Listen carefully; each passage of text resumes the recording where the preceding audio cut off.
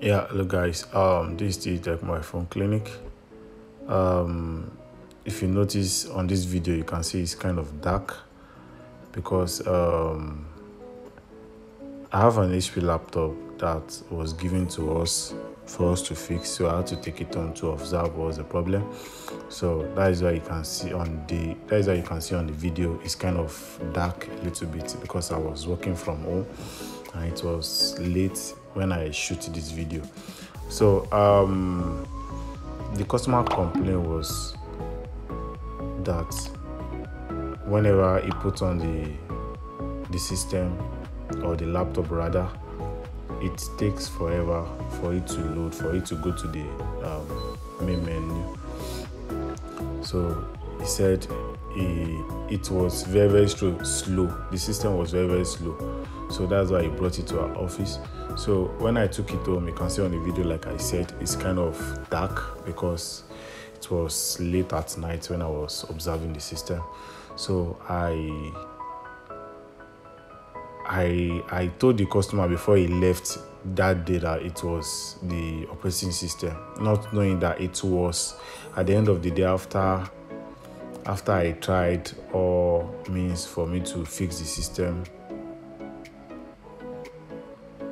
I noticed it was the hardware that was having issue, so I had to um, I had to delete some partition. After deleting some partition, it was it was taking forever for it to format safe. So I tried to do this little coding that's um, command prompt. So for you to get to your command prompt, you hold on to your shift plus F10. So for you to get to this environment, so then you click, then you type diskpart. Once you type your diskpart, then you then you press enter. So after you press enter, it's going to bring an option. You can see I've, I've pressed enter but because the hard disk drive was having issue it's taking forever for you to bring an option out on a good ground if you have a good hard disk drive it's not going to take long. Now it it's out you can see. So i have disk zero. Sorry my video is kind of shaking. So disk zero we have disk zero online. So you click on you type select disk zero. So you press enter. After you click on enter it's going to tell you um, 0 is now selected. Then you type clean then you press enter. So if it's if it's clean if this little coding what we are trying to do is that we are trying to erase the um, the um, hard disk drive with this little coding we are doing. Although it's not a coding but this is a command um, command prompt environment. So you can see the error that is bring that that pops up.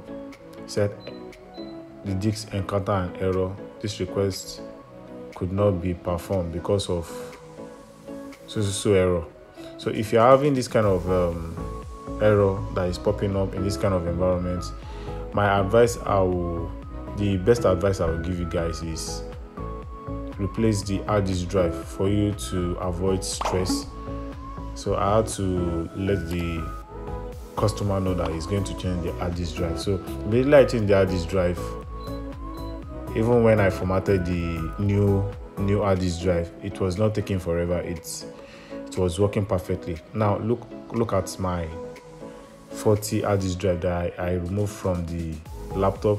So I've already um, installed my new hard disk drive. So now for me to install new software is is not taking forever. So it's going the system is now working properly now.